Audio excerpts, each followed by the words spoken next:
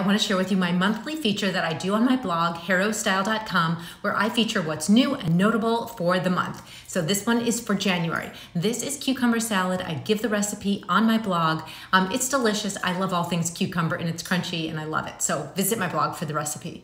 These are combat boots by Ulla Johnson, and I think they're kind of cool because they are a little bit more feminine than your regular combat boot. And I like how high they are. They still have good treads. I fear that I might be the only one who loves a gaucho or a culotte pant. I love these because these are by Nili Lotan. I love these because they're the comfort and ease of a pant, but they kind of look like a skirt. Mrs. Harris Goes to Paris. It's a little movie that I watched on Peacock. It's very charming. Is it heavy, serious? No, but it's not gonna give you bad dreams either. It's not realistic. It's very fluffy, very charming. As a fashion girly, I loved it and I recommend. This is a former rosé bottle that I de labeled and made into a watercraft. It even has a glass stopper. It's just so charming. Just look at your liquor bottles in another way too, because they can be repurposed. And finally, what I think is notable is this pearl and silver necklace from Tiffany.